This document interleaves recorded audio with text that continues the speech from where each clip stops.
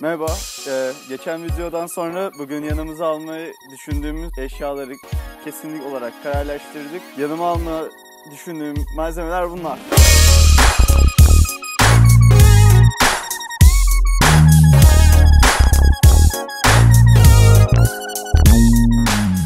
Biraz fazla ama yapacak bir şey yok artık taşıyacağız yani biz sırtımızda evimizde geziyoruz. Yapacak bir şey yok. Bu videoda işte size çanta yerleşimi nasıl olur, nasıl olmalı onları hakkında konuşalım dedim biraz. Geçen videoda bunun spoilerını vermiştim zaten. Şimdilik içine yerleştirmeyle başlayacağız. Bu taraftan başlayalım. Ağır eşyaları alt kısmı koymayı düşünüyorum.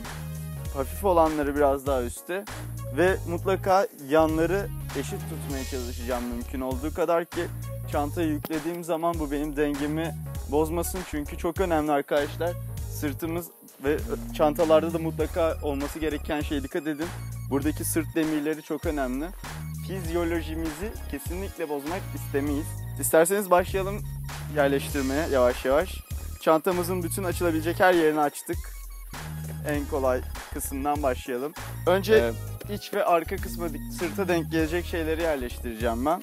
Ee, yardım kiti, bakım kiti bunu bahsetmiştim. İçinde gerekli ilaçlarım ve e, başımıza gelebilecek kötü durumlarda umarım gelmez.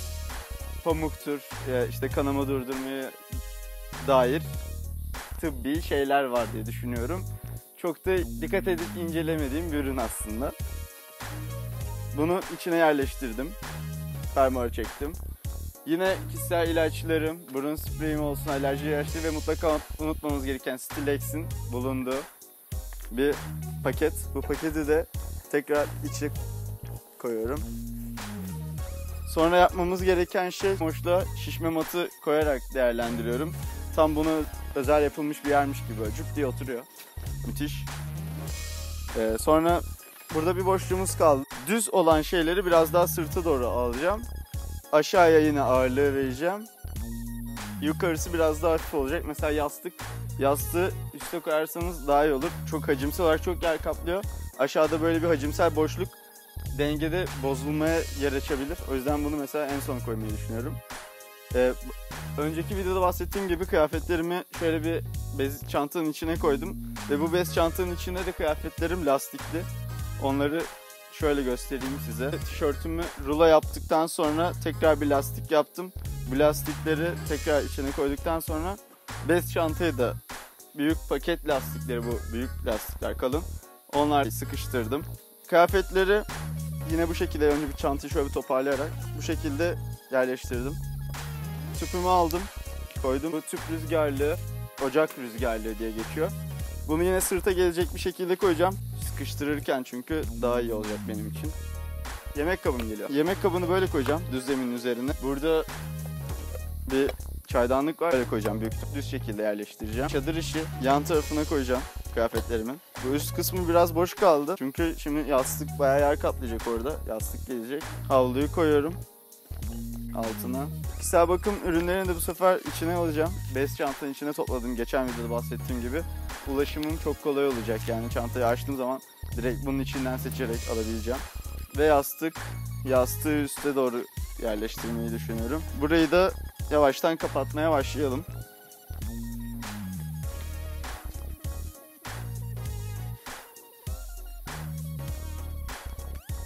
Süper. Ee, Şimdilik bunu kapatıyorum. Ekstra yerleştirmek istediğim bir şey olursa içine onları tekrardan yerleştireceğim. Bu ağzını sıkalım. Çekelim ipini. Şimdilik dursun. Daha sonra onlara düğüm atacağım. Şimdi bu yan tarafı biraz daha böyle keyfi şeylere ayırdım diyeyim. Ne mesela? İşte mumu mesela en dibe koyabilirim.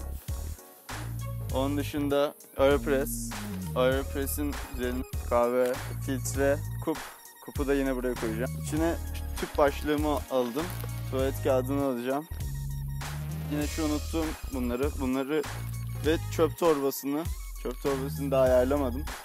O ikisini de sırt kısmına denk gelecek şekilde iç, iç bölmesine koyacağım tekrardan. Şimdi çantanın bu tarafına gelelim. Bu bölmeye de tekrar e, birbirine yakın malzemeleri buraya toplamak istedim. Yağmurluk, çanta yağmurluğu, kendi giydiğim yağmurluk. katlanabilir çanta ve bıçakları buraya koymayı düşünüyorum. Ağırlık dengesi büyük ihtimalle bıçaklar sayesinde toparlanmış olabilir. Olmazsa da yine diğer malzemelerle sağlayacağım bu durumu. Bıçakları bu şekilde içeri doğru koyacağım ya da böyle fark etmez. Hani dışarı doğru gelmeyecek şekilde olması çok önemli. Zaten bunların hani kılıfları var. Koyduğunuz eşyaları çantayı yırtmayacak şekilde olmasına dikkat edin. Hani bende pek fazla keskin bir şey yok. Hani dikkat etmenizi öneririm. Bir de tüp var içeride abi. Tüpe malzemeler çarpmasın. Yani sizin sağlığınız için de, tüpün sağlığı için de, insanların sağlığı için de bu durum çok tehlikeli olabilir. O yüzden dikkat edin. Bir de buraya şu gözlüğü koymak istiyorum. Bu sayede burası biraz toparlandı. En son sıkacağız her tarafını. Bu arada tencereyi koymayı unuttum.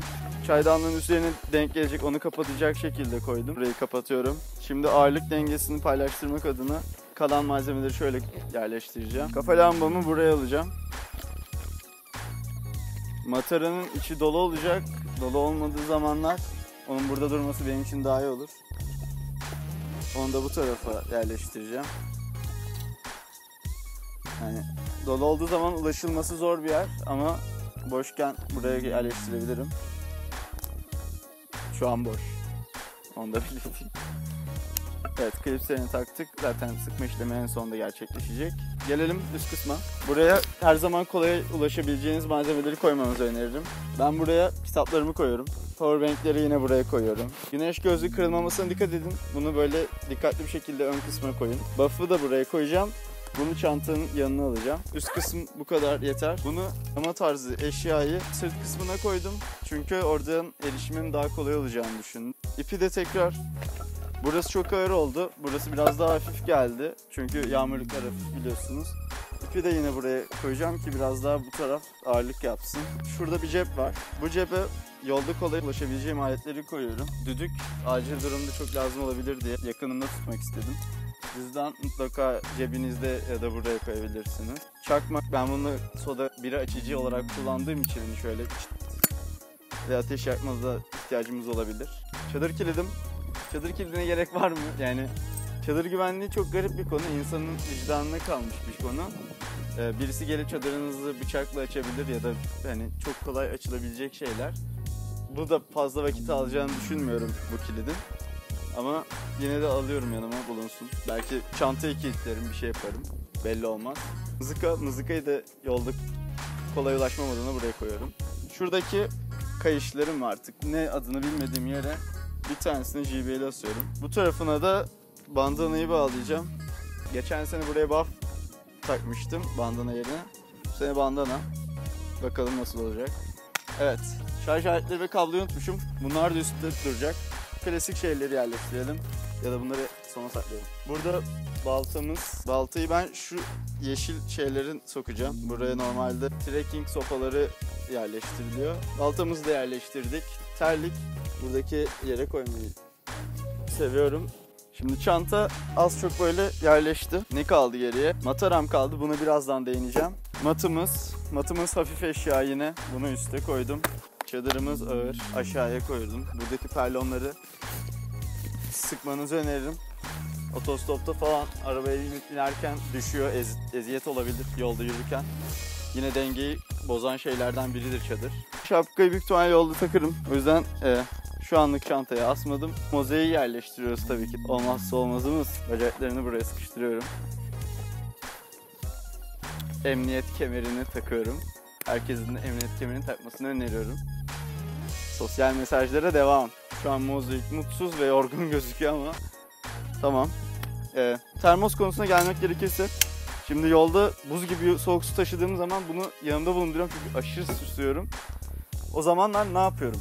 Şimdi çanta böyle gözüküyor. Ee, bir yerinden şu yanından oluyor, bu yandan oluyor. Değişir. Çengelle bunu sarkıtıyorum abi ya da iple bağlıyorum. Ya da termos olmayabilir. Bir buçuk litrelik sular oluyor. The fuck is going on man? Termos olmayabilir. Bir buçuk litrelik sular oluyor ya da hani bir litrelik sular değişir. Onları da iple böyle bir şekilde çantanın kenarından sarkıtıyorum ki yolda içmek kolay olsun benim için, ulaşım kolay olsun. Yoksa bittiği zaman da içine koyabilirsiniz. Taşımak rahat olur. Burada mozaik gengimiz var arkadaşlar.